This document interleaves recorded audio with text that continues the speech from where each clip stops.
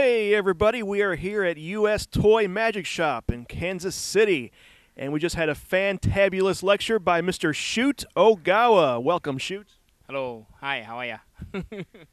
So, how did you first get started in the world of magic? Uh, how old were you? Uh, what was the first magic trick you ever learned?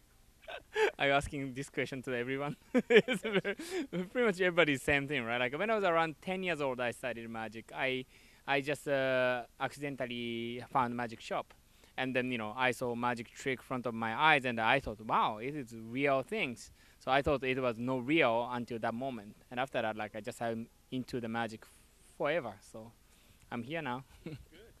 Who would be your top three magical influences? Uh, well, I believe or not, like uh, one performer is a comedy magician, and he passed a few years ago, unfortunately. But his name is Johnny Lonn from Sweden.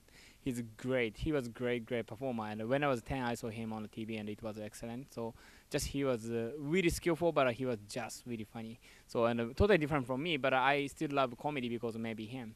So also, uh, my mentor, uh, he gave me a lot of theory but uh, I never really do exact type of performance style. I like uh, his theory, but I do not do exact. So just you know, bes- behind me, like an inside of me, is his theory. So, but you know, he gave me a lot of inspiration last 29 years, and uh, someone else last one.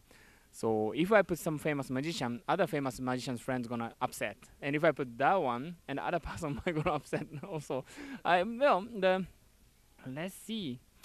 Well, actually, I the last third person gonna be everyone probably because the uh, one thing my teacher taught me about learning things is like once, for example, if we are learning from someone and if we become top, now we feel like we can learn anymore, right? But uh, actually not. Actually, we have many opportunities to learn many things. Even you know, who is beginner magician, but uh, who give us like some of new inspiration, we never know. So if we don't become big head guy and we can learn from everyone. So maybe third person is everyone, like all of you who is watching this video clip, probably.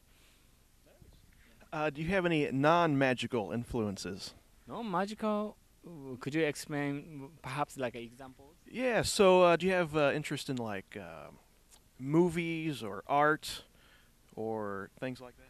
Well, I like movies, and I try to see a few different kinds. Not only action, not only like uh, science fiction. Like I try to see a few different kinds. Only one thing that I don't like is a horror movie, but a movie is other than horror movie, I really love many different kinds. And also, uh, I enjoy art sometimes. But uh, I remember that when I was young, you know, in a school, everybody, every school student, classmates, everybody has to go to the museum and watch art, which teacher forced us to do. I hate it.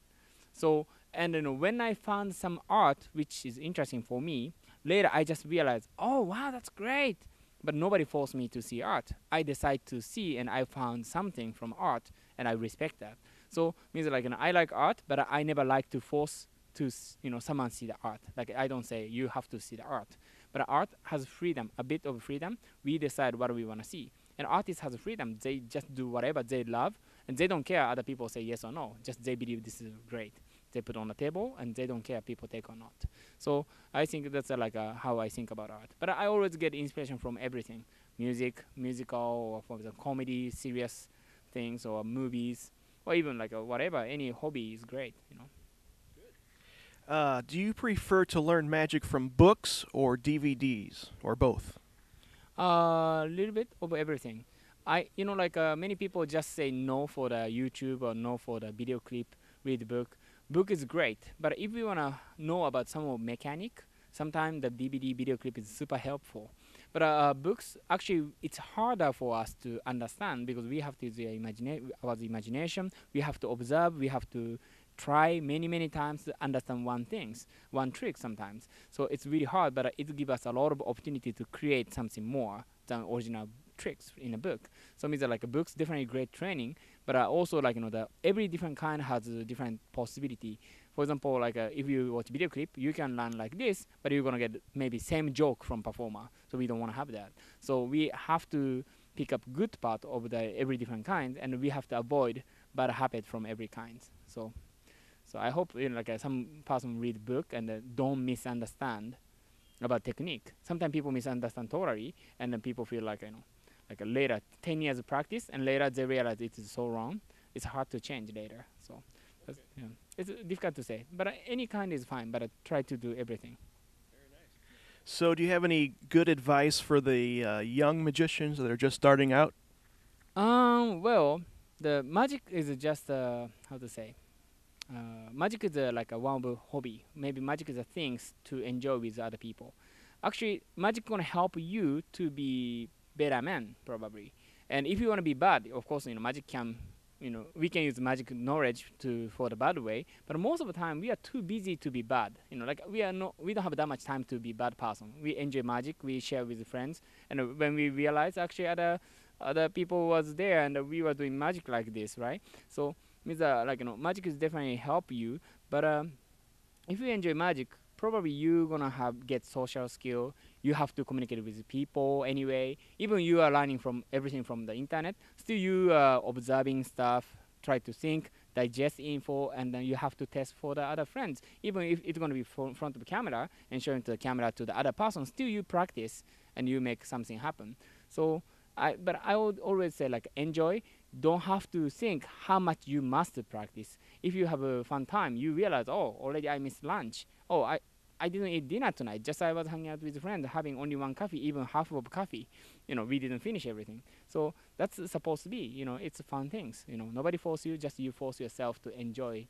I mean, we're gonna forget about time anyway. Right. Yeah, that's it. I don't. I'm no good advisor, so. That's very good.